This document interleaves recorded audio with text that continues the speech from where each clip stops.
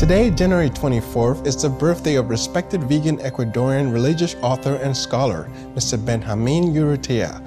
Born in Guayaquil, Ecuador in 1950, he has written poetry, short stories, as well as numerous articles on biblical subjects. These include The Saying of Jesus, which he helped to translate and compile, consisting of aphorisms of Master Jesus. Mr. Urrutia also reviews literature and movies for the website The Peaceable Table showing the intelligent and compassionate nature of our animal co-inhabitants. Mr. Urrutia has stated that his choice of cruelty-free diet comes from asking the question, what would Jesus eat?